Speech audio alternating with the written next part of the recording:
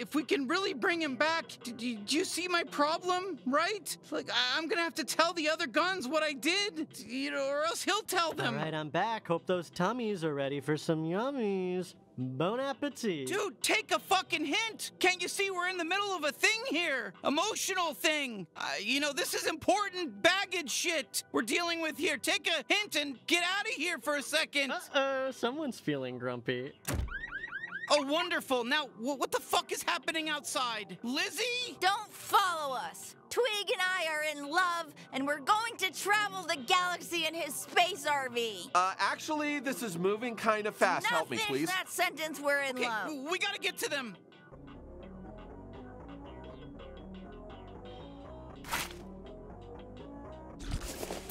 Oh shit, yeah. We I can't dine and dash. I love this place. Don't want to get blacklisted.